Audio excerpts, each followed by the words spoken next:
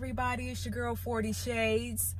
Uh, just want to check in real quick, tell you how my week went last week. Uh, so far, so good, not too bad.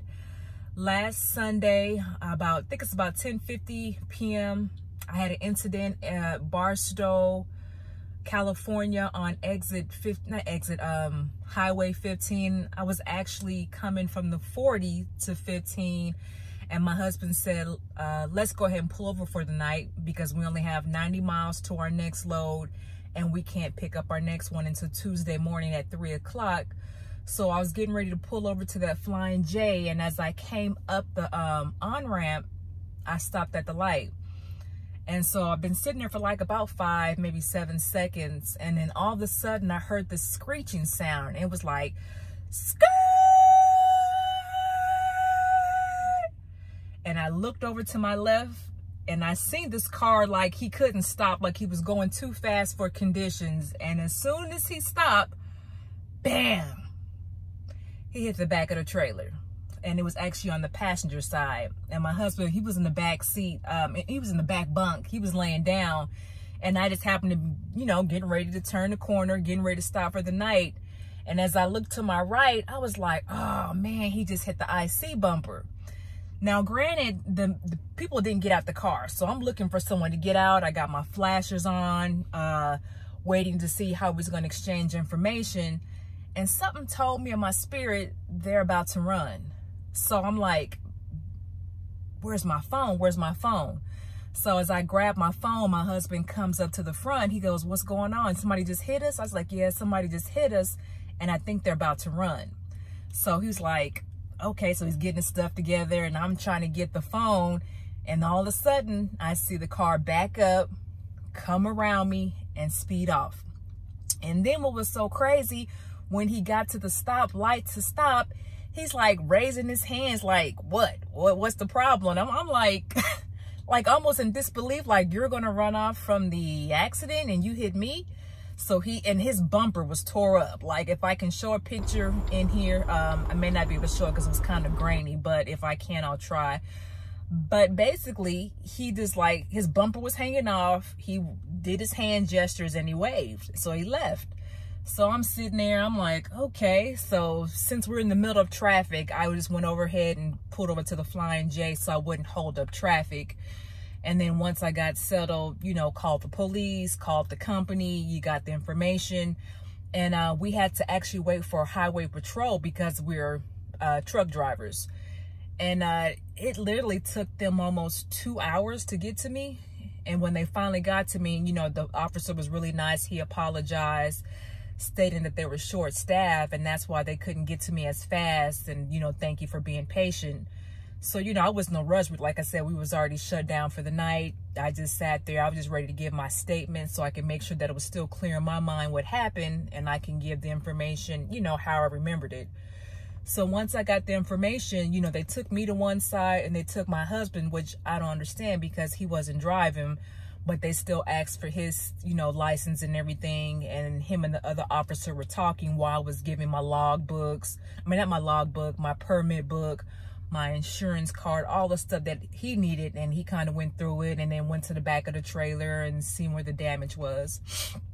Excuse me. And then once we finished, my husband's like, they found the guy. And see, the policeman didn't tell me that but my husband told me in passing because they was getting ready to leave and i was like what he goes i'll tell you about it in a minute so my husband got back in the truck and he was getting his stuff together so he can go inside and go shower and then the police uh, gave me like a card so i can get to my company with the reference number and all the incidents and uh, once they finally left i finally talked to my husband and i guess the guy ended up going to the hospital anyway because he had some young kids. So he took his young kids up there, I guess, to get checked out.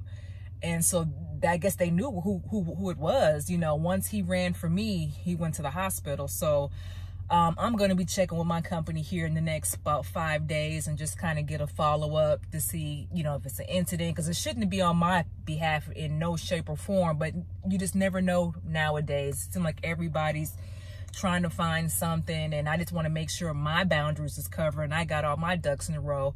So I'm gonna call my company, like I said, in a couple of days and just get the information and see what they say. But I did follow everything that I was supposed to do. Make sure I got the information, gave them the pictures, gave them the video to make sure I cover myself.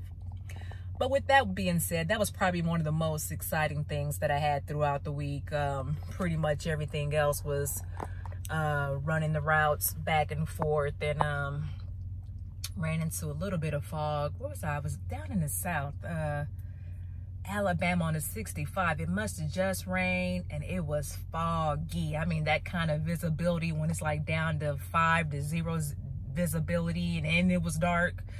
So um, besides that, that was pretty much it.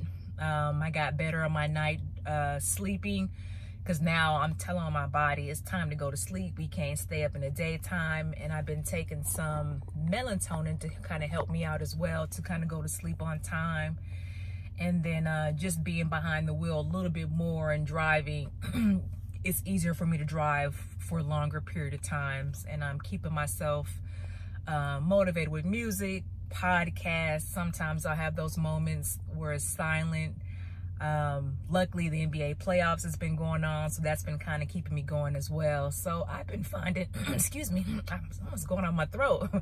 I've been finding a few things to kind of keep me going throughout the night. So the second week has become better this week.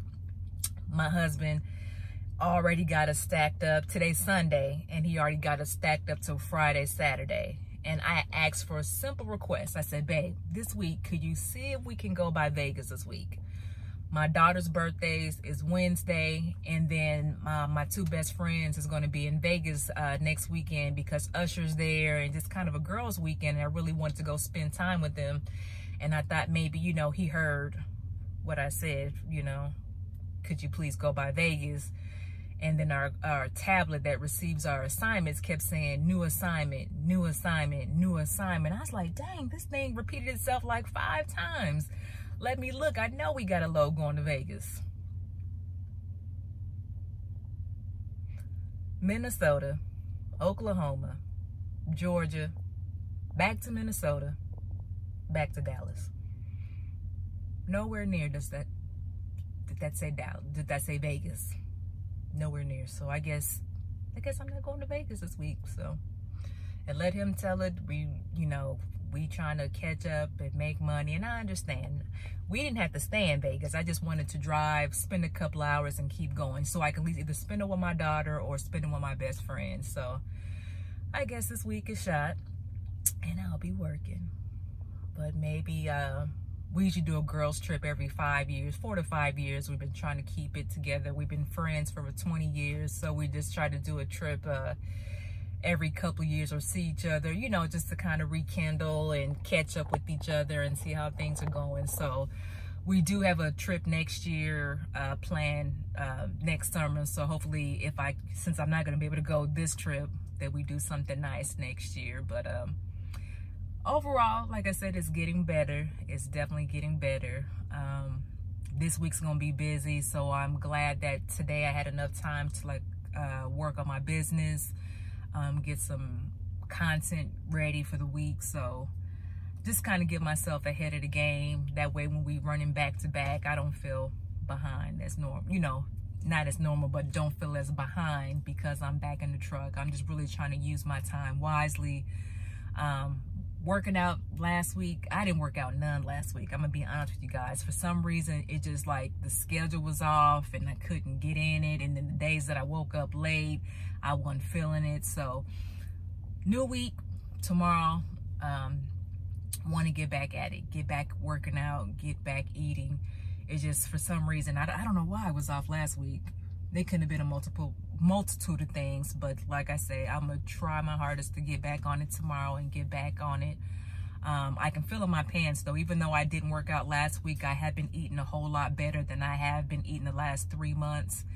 And I feel better feel feel better and my, my pants are looser. I'm so glad I'm going down in size in my underwear, which I know it's TMI, but going down in size. So I know I'm going in the right direction and I want to keep the right direction. So video's already headed 10 minutes, but I just wanted to check in with you guys, drop a video and let you know everything's going well. It's going better. So I will definitely check in with you guys again next week.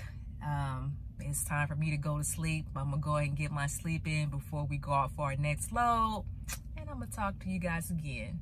See y'all later.